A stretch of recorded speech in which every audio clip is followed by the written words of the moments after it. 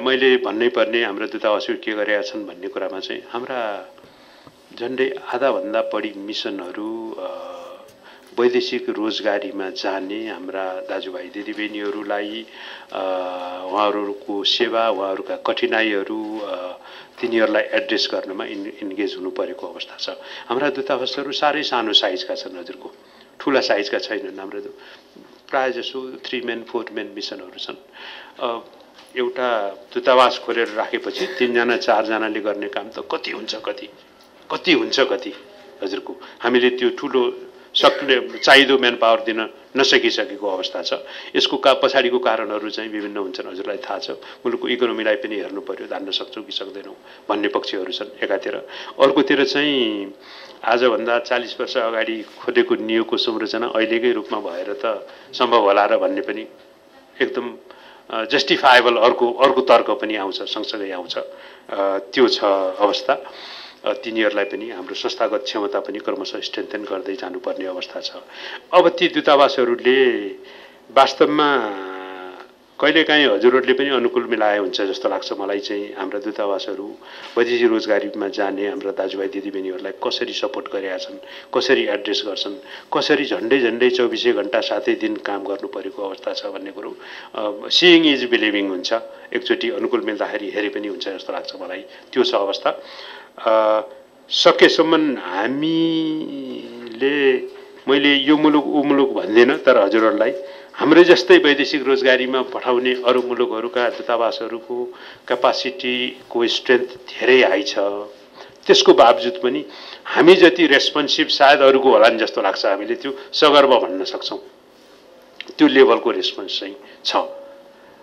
तर चाहिँ के छ भने वैदेशिक रोजगारीमा जाने हाम्रो जनशक्ति अत्यन्त ठुलो भइसकेका छ अब।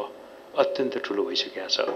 जब ठुलो जनसङ्ख्या हुन्छ भनेदेखि त्यहाँ पाँच लाख जनसङ्ख्या छ भने पाँच लाखको दुई पर्सेन्टलाई मात्रै समस्या पर्यो भने पनि दस हजारलाई समस्या पर्छ क्या एट अ टाइम दस हजारको समस्या तिनजना चारजनाको मिसनले एड्रेस गर्ने भनेको चाहिँ it is quite a bit challenging त्यसको बावजुद पनि सम्भव भएसम्म चाहिँ विथ फुल डेडिकेसन हाम्रो नियोगहरूले गरिराखेको छन्। अब त्यो नियोगहरूमा समस्या भइदिन्छ के भनेदेखि हजुरहरूको मैले भनेको त्यति धेरै फुल टाइम त्यो वैदेशिक रोजगारीमा जाने दाजुभाइ दिदीबहिनीहरूको र अनि त्यो रिलेटेड कामहरू फेसिलिटेटमा लाग्ने भएपछि इकोनोमिक डिप्लोमेसीका अरू आयाममा उहाँहरूले चाहिएको जति एटेन्सन पुर्याउन सक्नुहुन्न। त्यो यथार्थ हो हजुर त्यो प्राकृतिक हिसाबको लिमिटेसन हो कि त्यो। सहज रूपमा चाहिँ अरू एरियामा ध्यानै पुर्याउन पाइँदैन। जब चौबिसै घन्टा त्यही विषयमा चाहिँ अकुपाई हुनु पऱ्यो भनेदेखि त त्यो अवस्था छ। मैले हजुरहरूलाई यो कन्सटेन्ट पनि यो सम्मानित समिति समक्ष राखिदिनुपर्छ भनेर चाहिँ मैले इमान्दारीपूर्वक राखिदिने कुरा कोसिस गरेको त्यो छ।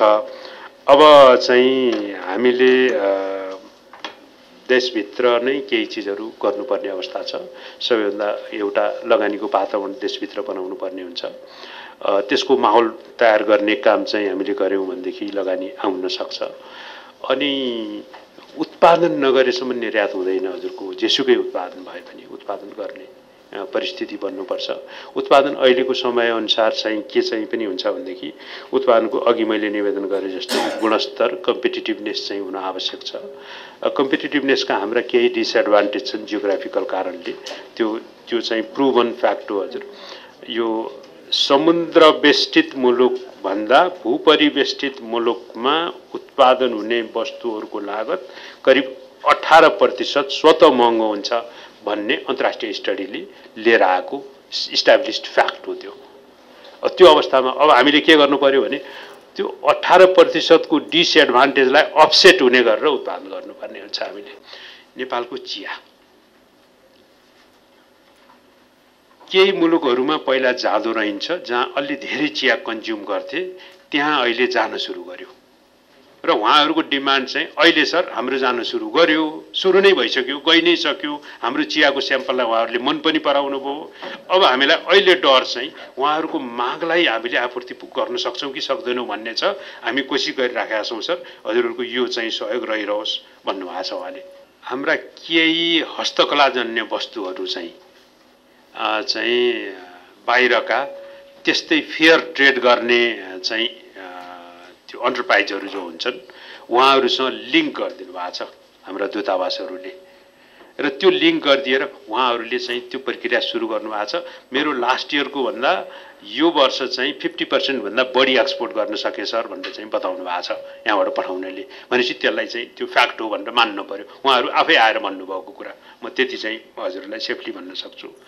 तेस्रो कुरा हामीले चाहिँ हाम्रो साह्रै ठुलो पोटेन्सियल भएको यो आइटी सेक्टरको एक्सपोर्ट के हजुरको जसमा चाहिँ वेट पनि लाग्दैन केही हुँदैन सबै प्रविधि प्रयोग गरेर हुने। काठमाडौँमा बसेर गर्ने काम पनि त्यही हो क्यालिफोर्नियामा बसेर गर्ने काम पनि त्यही हो। यहाँ बसेर धमाधम चाहिँ हाम्रा युवा हाइली स्किल्ड हाइली एजुकेटेड राम्रा चाहिँ मेहनती चाहिँ युवाहरूले सफ्टवेयर बनाउनुहुन्छ अथवा आइटी रिलेटेड सोल्युसनहरू बनाउनुहुन्छ र त्यो एक्सपोर्ट गर्नुहुन्छ।